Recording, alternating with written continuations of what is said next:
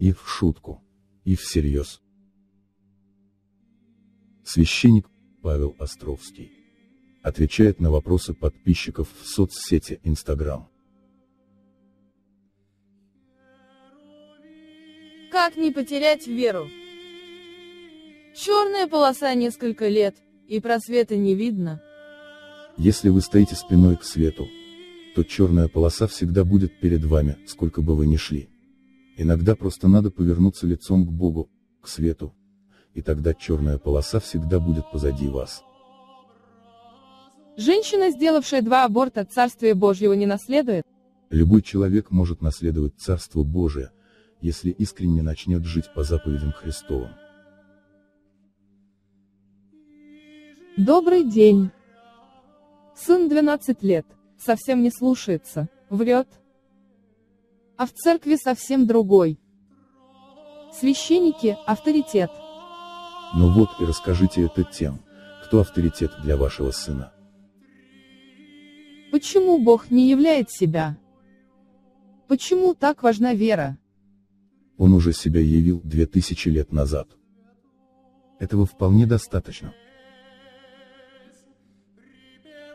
Добрый день, отец Павел. Убила змею. Грех? Свекровь грешно убивать. Придется покаяться. Можно ли сдать золото, которое осветили в церкви? Да. Смотрю фильм «Интервью с Богом». А что бы вы у него спросили? Я умный. Промолчал бы. Заниматься торговлей. Это грех? Нет, лишь бы вы только честно торговали. Суррогатное материнство – зло. Да. Церковь однозначно против этого. В интернете есть много информации, где подробно описывается точка зрения церкви по этому вопросу. Муж стал часто поднимать руку. Не выдержала, ушла с детьми. Верно ли мое решение? Церковь категорически против рукоприкладства в семье. И если появляется угроза для жизни жены и детей, то никто не против того, чтобы человека оставить. Ненавидим друг друга с женой. Как быть? Есть дети. Жена идет за мужем. Начните с себя. Вспомните о том, как ухаживали за ней, как снисходили к ней, как смотрели на нее. Будьте мужчиной.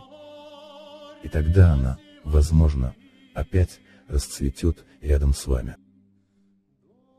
Нужно ли исповедовать, подробно, грехи блуда? Или достаточно, покаяться в блуде? В блудных грехах, подробно каяться не надо. А если священник начнет спрашивать подробности, то сразу уходите от такого. Почему парень сначала блокирует в Инстаграме, а потом разблокировал? Пальцы дрожат. От любви к вам. Батюшка, как познать, какой у меня дар или талант? Для начала. Надо замолчать.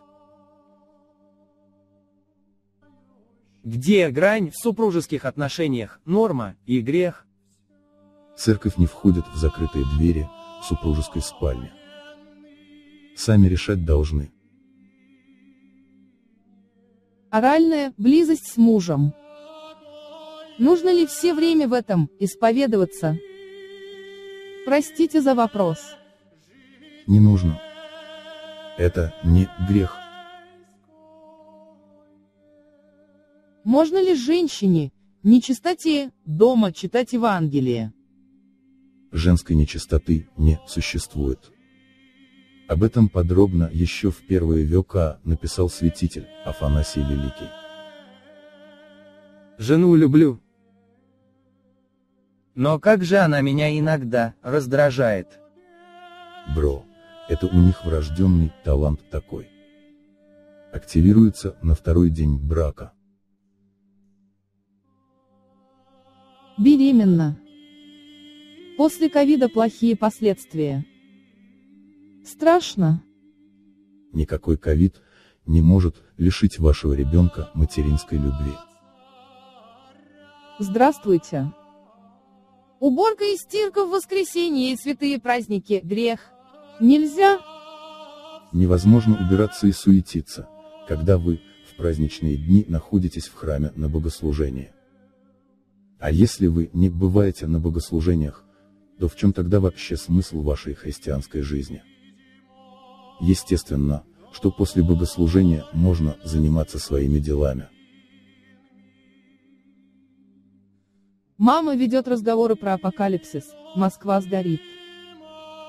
Говорит переезжать. Пусть переезжает. Поработает один сезон в огороде, и сразу поймет. Что такое апокалипсис? Развелись с мужем в 2013 году. Надо ли развенчиваться в церкви? Развенчивания не существует. Если вы развелись, то брака нет.